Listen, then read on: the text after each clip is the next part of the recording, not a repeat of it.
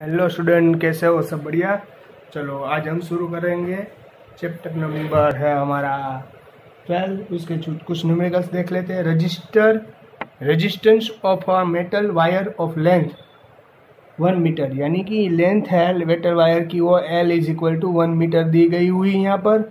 Length one metre in sixteen omega यानी कि यहाँ पर रजिस्टर दिया गया है sixteen twenty six omega in twenty ends temperature if the diameter of the wire diameter of the wire यानी कि इसे डी कहा जाएगा 0.3 millimetre what be the resistivity of the metal resistivity यानी कि रजिस्टिविटी वो यानी कि रो हमें ढूंढना है कितना होगा। तो सबसे पहले तो हमें क्या करना है? यहाँ पर जो दिया गया हो मिलीमीटर में, हमें इसको मीटर में कन्वर्ट करो zero point three ten raise to minus three metre ये मीटर में कन्वर्ट हो गया। रेडी डायमीटर में से मीटर में कन्वर्ट हो गया। सबसे पहले तो ये अच्छी तरीके से देख लो। अब क्या करना है? रो तो हमारे पास रजिस्टिविटी है, उसकी फॉर्मूला क्या है? Rho is equal to R A by L तो यहाँ पर आर दिया गया हुआ था ट्वेंटी सिक्स ए ए यानी वायर होता है वायर वायर वो होता है, उसका सेप कैसा होता है? ए यानी कि एरिया ए यानी कि एरिया वायर का एरिया होता है, वो कैसा होता है भाई? वायर का एरिया होता है, वो उसकी शेप कैसा होता है? सिलेंडर टाइप तो सिलेंडर का एरिया है pi R square pi R square upon में एल रेडी तो यहाँ पर diameter D zero point three ten raise to minus three omega into metre था. रेडी रेडी डायमीटर हमें यहाँ पर क्या दिया गया? आर आर यानी कि स्मॉल आर स्मॉल आर यानी कि रेडियस रेडियस ऑफ़ सिलेंडर तो ये डायमीटर दिया गया था तो इसका रेडियस क्या होगा? उसका जो हाफ़ होगा डी बाई टू यानी जो भी डी रहेगा, उसका डिवाइडेड बाई टू करो, यानी वो रहेगा हमारा डायमीटर तो ट्वेंटी सिक्स ऐसे ही पाई की वैल्यू आपको थ्री पॉइंट फोर्टी मिलेगी. आर आर यानी कि डी बाई टू यानी कि डायमीटर का हाफ़ करो तो यानी कि रेडियस होता है.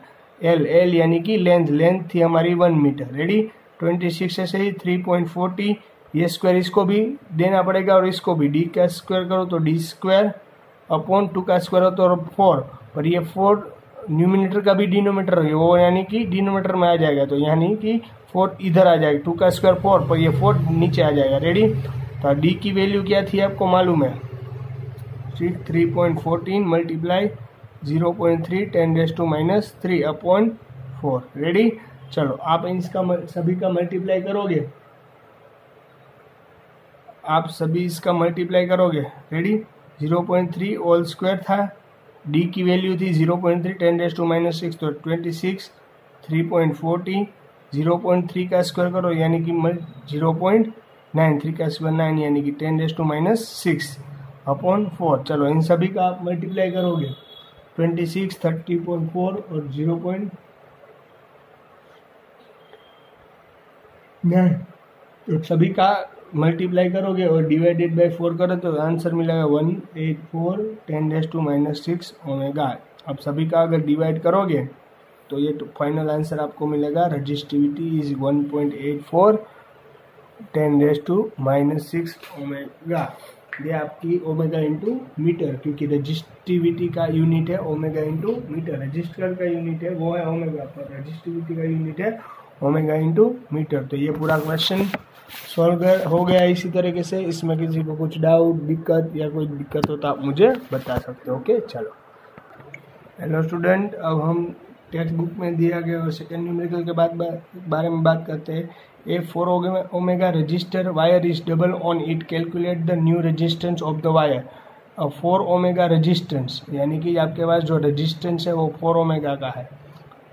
रेडी यानी आर की वैल्यू है four omega ready wire is double on it calculate the new resistance of the wire यानी कि अगर उसे डबल कर दिया है वेन वायर इज़ डबल यानी आप वायर को डबल कर दोगे तो उसकी लेंथ है would be become a half यानी उसकी लेंथ है वो जो पहले से थी, वो उससे हाफ़ हो जाएगी. मैं जो बोल रहा हूँ आपको समझ में आ रहा है ना? When a wire double it length would be become a half यानी उसको अगर वायर को डबल कर दिया जाए तो उसकी लेंथ हो जाएगी हाफ़ और area of cross section would be double यानी यानी कि उसका एरिया है, वो डबल हो जाएगा। तो इससे लेंथ है, यानी कि हाफ़ यानी एल बाई टू हो जाएगी और एरिया है उसका डबल यानी कि टू ए हो जाएगा। आई बात समझ में अच्छी तरीके से? कन्फर्म क्लियर बात? कोई दिक्कत नहीं है ना आपको? रेडी चलो। तो for the first wire for the first wire first wire के लिए क्या था? तो फ़र्स्ट वायर के लिए यहाँ पर क्या दिया गया हुआ है? एल दिया गया हुआ है ए दिया गया हुआ है, यानी कि एल और ए दोनों आती है, वो दोनों क्वांटिटी आती है उसका फॉर्मूला कौन सा है? Rho R A by L उसमें से हमें आर को वेरिएबल बनाना पड़ेगा। आर को वेरिएबल बनाओ तो ये एल इधर जाएगा। तो चलो रो और एल एल डिवाइड में आ जाएगा तो मल्टीप्लाई में, यहाँ क्या बचेगा? आर ए इसमें से आर को वेरिएबल बना rho. R is equal to rho L by A ready rho rho यानी कि इसकी वैल्यू हमें सब्सटीट्यूट करनी है।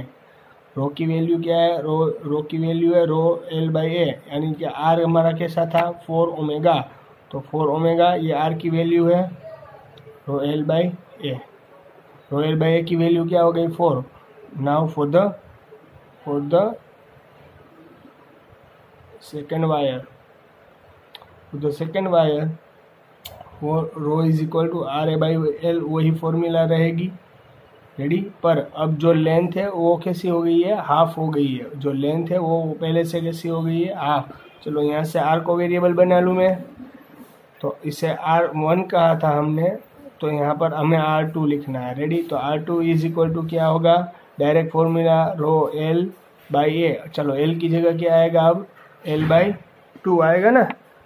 इसे एल बाई टू और एरिया वो था डबल हो गया, यानी एरिया आ जाएगा टू है तो ये टू है, वो नीचे आ जाएगा तो रो एल अपॉन फोर है रेडी तो आर टू की वैल्यू क्या थी हमारे हिसाब से? आगे बात समझ में अच्छे तरीके से आर टू हमें क्या मिल रहा है? वो हमें कैलकुलेट करना है। तो देखो आर टू तो यहाँ पर रो एल बाई ए हो गया।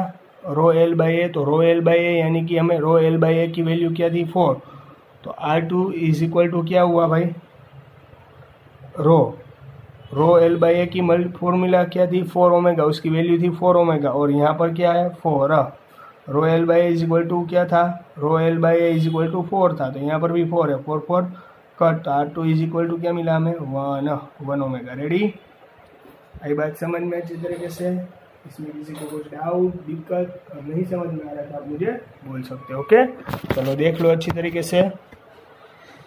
रेडी ये पूरा न्यूमेरिकल्स है फिर से एक बार और रिपीट कर रहा हूँ, देख लो यहाँ पर।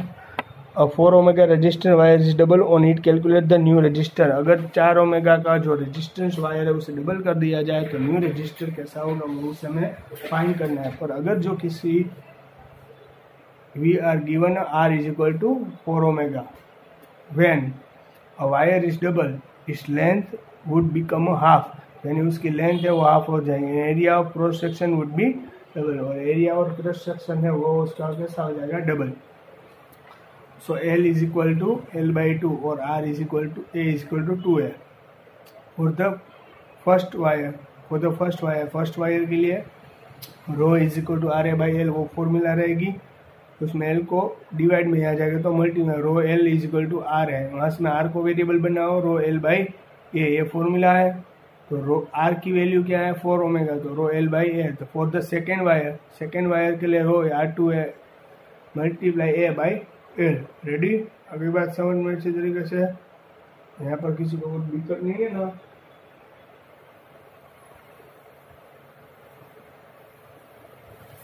R two is rho L by A L की जगह क्या आएगा? एल की जगह क्या आएगा? एल बाई टू एल की जगह क्या आएगा? एल बाई टू तो ये टू डिवाइड में आ जाएगा तो टू टू सा four A rho L by four है रो एल बाई ए यानी कि हो जाएगा फोर तो एल बाई ए यानी कि यहाँ पर जो रो एल बाई की वैल्यू फोर तो ये फोर फोर कर. तो R two is equal to one omega it is your R circle और new resistor is equal to one omega चलो, अब न्यू न्यूमेरिकल्स के डिस्कशन करते हैं हम लोग यहाँ पर। देखो यहाँ पर अच्छी तरीके से। हंड्रेड जूल ऑफ़ यहाँ पर देख सकते हो आप hundred joule of heat are produce of each second in a four omega resistor find the potential difference across the resistor यानी कि 100 joule heat are produce in each second यानी कि एक सेकेंड के अंदर 100 जूल जितना हीट प्रोड्यूस होता है। तो आप फाइन करो, यानी कि जो हीट प्रोड्यूस होता है, आपको four omega resistance the potential difference across the resistor यानी कि रजिस्टर के अब क्या होगा? वो हमें ढूंढना है। यानी जूल हंड्रेड वोल्ट जूल यानी कि हमें क्या मिल रहा है यहाँ पर? हीट एनर्जी हंड्रेड जूल तो हंड्रेड जूल है, वो हमारी हीट एनर्जी है तो हीट एनर्जी यानी कि यहाँ लिख रहा हूँ। हीट एनर्जी यानी हंड्रेड जूल जो पहले हमें गिवन है, वो हमें लिख लेना है। Then after produce of each second four omega resistor R is equal to मिलेगा four omega find the potential difference across the resistor find the potential difference यानी कि उसे वी कहा जाएगा across the resistor ready potential difference है वो, ढूंढना है। तो H is equal to formula क्या है हमारे पास? V square R multiply T जो हमारे पास फॉर्मूला है। रेडी ये हमारे पास फॉर्मूला रहेगी पूरी। चलो एच से वेरिएबल बना लो। एच को वेरिएबल बना लो आप लोग। एच को हम यहाँ पर वेरिएबल बनाएँगे तो एच क्या है हमारे पास? हंड्रेड जूल वी वी यानी कि क्या है? वो आप देख सकते हो वी यानी कि वी तो हमें पोटेंशियल डिफरेंस है, वो मेज़रमेंट करना है। पोटेंशियल डिफरेंस यानी इससे वी कहा जाएगा, वो तो हमें मेज़रमेंट करना है। तो इसे एज इट इज़ रखो टी टी का वैल्यू क्या है? देखो hundred joule heat energy produce of each second यानी टाइम टाइम टाइम टी दिया गया था ईच सेकेंड यानी one second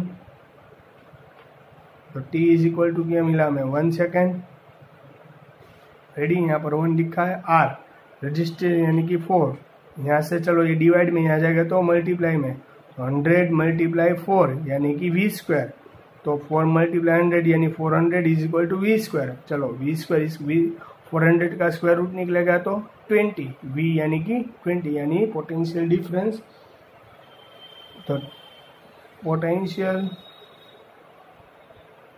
difference is twenty volt, यानी जो पोटेंशियल डिफरेंस है, वो हमारा हो गया ट्वेंटी वोल्ट। आगे बात अच्छी तरीके से समझ में, यहाँ से कोई दिक्कत या कोई क्वेरी अगर या कुछ दिक्कत हो तो आप मुझे बता सकते हो ओके चलो।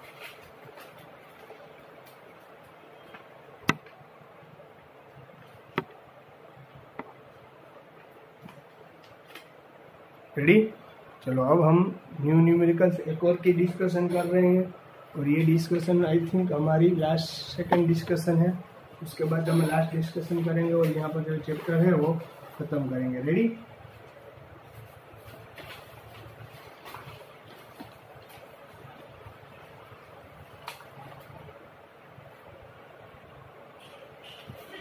चलो।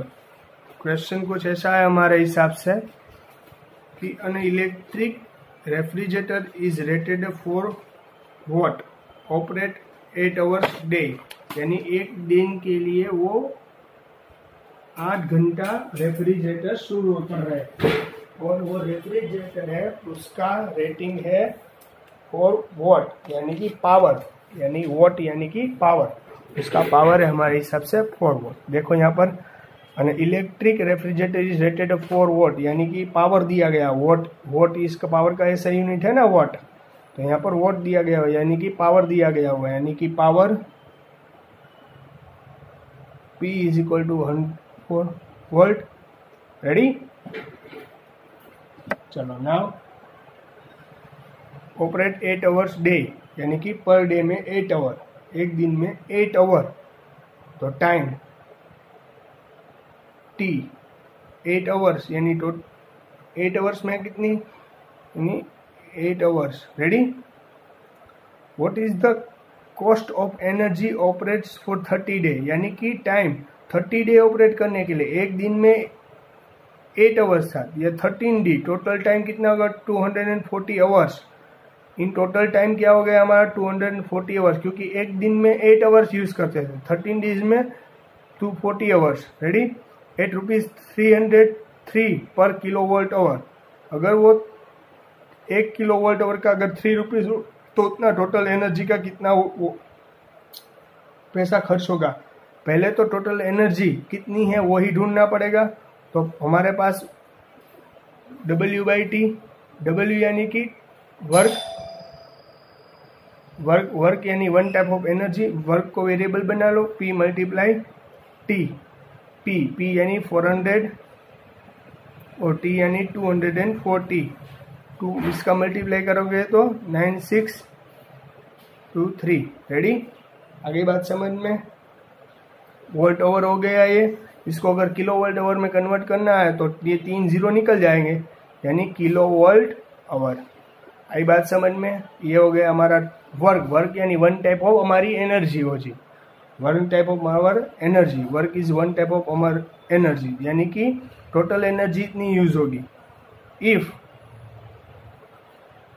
if 1 kilowatt hours we use of 3 total cost of 3 rupees kilowatt hour 1 kilowatt hour is 3 rupees so 90 kilowatt hour so how many rupees यानी कितने रुपीज़ हो गए यहाँ पर हम ये यूज़ करते वन किलो वाट ओवर तो तीन रुपीज़ होगी तो नाइन्टी किलो वाट आवर के लिए कितने रुपीज़ होगी तो इसको क्रॉस मल्टीप्लाई करो, यानी नाइन्टी सिक्स मल्टीप्लाई आप थ्री करने जाओगे तो आपको आंसर मिलेगा rupees two hundred and eighty eight तो total cost of energy is rupees two hundred and eighty eight आगे बात समझ में अच्छी कर दे जैसे यहाँ पर किसी को कुछ डाउट या दिक्कत हो तो आप मुझे पूछ सकते हो ओके चलो। रेडी ये हमारा लास्ट न्यूमेरिकल्स है तो ये लास्ट न्यूमेरिकल अच्छी तरीके से देख लो, यानी कि यहाँ पर ये चैप्टर हम खत्म करेंगे। रेडी चलो।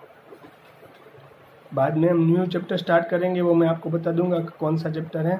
An electric bulb connect to two twenty generator electric bulb है, वो टू ट्वेंटी वोल्ट जनरेटर से कनेक्ट होता है। टू ट्वेंटी जनरेटर यानी वोल्ट वो पोटेंशियल यानी कि volt two twenty volt generator current zero point fifteen ampere जो करंट है आई वो ज़ीरो पॉइंट फिफ्टीन एम्पियर का है. रेडी करंट है, वो ज़ीरो पॉइंट फिफ्टीन एम्पियर का है. तो बल्ब तो power of bulb what is the power of bulb तो पी को हमें ढूंढना है. तो हमारे पास पी वाली फॉर्मूला है ना P is equal to ice V P is equal to I multiply V two twenty multiply zero point fifty अगर ये two twenty zero point fifty को हम वन बाई टू भी लिख सकते हैं, इससे वन वन ज़ीरो आएगा तो वन वन ज़ीरो वोल्ट तो पावर कितना यूज़ होगा वन वन ज़ीरो वोल्ट तो ये हो गया हमारा पूरा न्यूमेरिकल्स यहाँ पर हमारा चैप्टर शुरू खत्म होता है। बाद में हम न्यू चैप्टर शुरू करेंगे। उससे पहले मैं आपको बता दूँगा कि कैसे हम लोग यहाँ पर शुरू कर रहे हैं ओके चलो good bye and take care